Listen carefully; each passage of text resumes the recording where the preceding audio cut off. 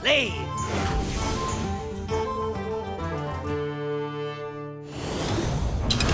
In this video, I'm going to explain how pro players approach mulligan decisions. If you'd like to know how top competitors like Boarcontrol throwback cards, now's your chance. So let's go.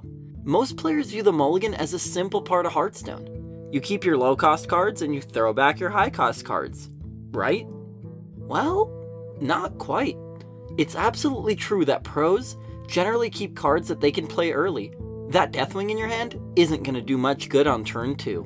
But a proper mulligan goes much deeper than this. Pros decide what cards to keep based on how they anticipate the game state evolving. You generally want to keep cards that are vital to winning, regardless of the cost. For example, if a pro plays against Odd Warrior, they'll keep Ultimate Infestation or Frostlich Jaina, despite their high cost. This is because outvaluing Odd Warrior is the key to victory, and the power of a guaranteed infestation on turn 10 outweighs the dead card on turn 1, mainly because Odd Warrior just isn't good at applying early pressure. Another example? Have you ever wondered how pro druids just always manage a turn 6 spreading plague? Well, it's not luck.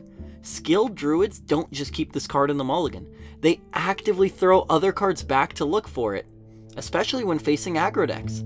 The mulligan isn't just about cards you don't want, it's also another chance at finding cards that you must have.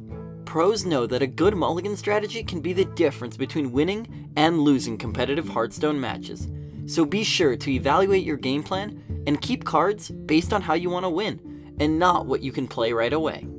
Thanks for watching everyone. If you enjoyed this video, brought to you by the coaches at Gamer Sensei, please visit playhearthstone.com slash esports for more of the Well Played series and all things Hearthstone esports. Well played!